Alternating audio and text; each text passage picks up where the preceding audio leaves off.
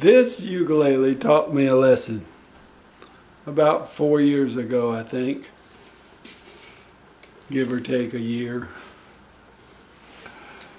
I saw this ukulele advertised on eBay. It was buy it now for $74 free shipping. Now, it's a solid top spruce ukulele. It has an added little piece of plastic here to protect against gu guitar pick strikes against the ukulele. It has two different electronics hooked in. I don't even know what all electronics are in here. The person was trying to be, uh, I wanted to be clear that the electronics didn't satisfy. So he was selling the ukulele as is. So my question as a fairly new ukulele person was, I wonder if all this uh, hardware inside the ukulele, all this electronic stuff, is going to actually affect the sound of the ukulele? That was my burning question.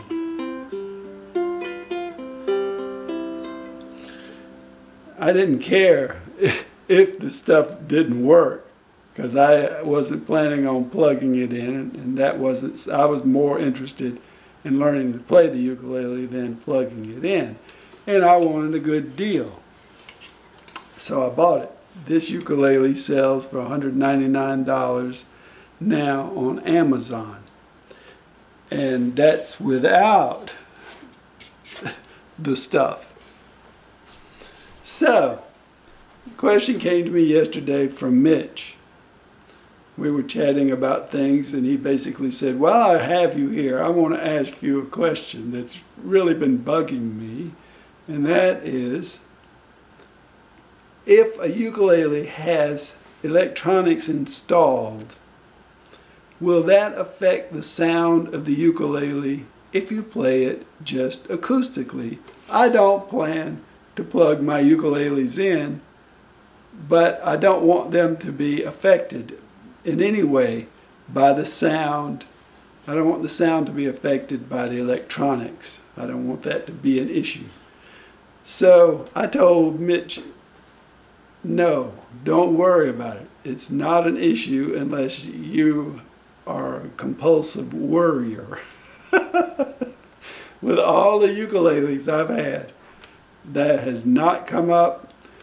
I have not shopped for ukuleles with electronics, but a lot of people that have bought them from me appreciate them having electronics. So it's a nice sales tool.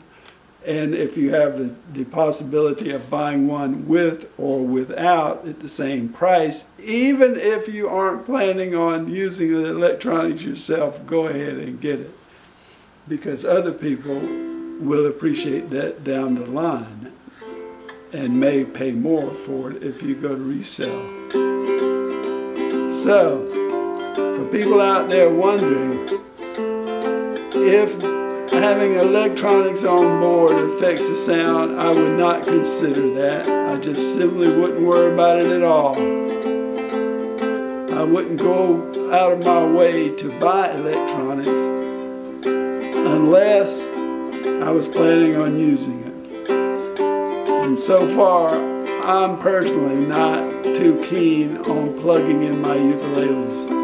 I've had some kind of testy experiences in my first forays into plugging in ukuleles, so I would rather amplify my voice and let the ukulele be amplified by a microphone.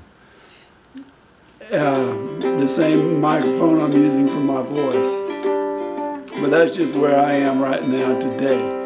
Another year from now, I may be very excited on having electronic ukuleles. And since I got many, that's not going to be any problem. So, thanks Mitch for bringing up a question that I I'm sure other people are wondering about. Thanks for watching the video.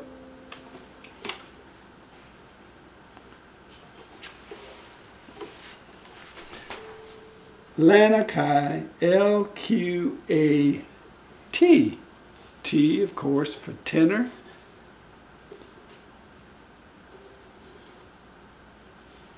Spruce top, solid spruce top, quilted ash. Now, usually you expect the top to be the fancy part, but the quilted ash is the fancy part on this ukulele the back and the sides.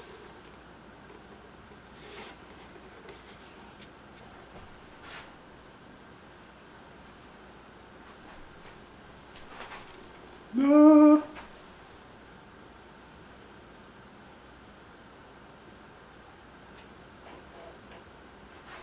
And by the way, I have never even tried the electronics to know whether they work or not.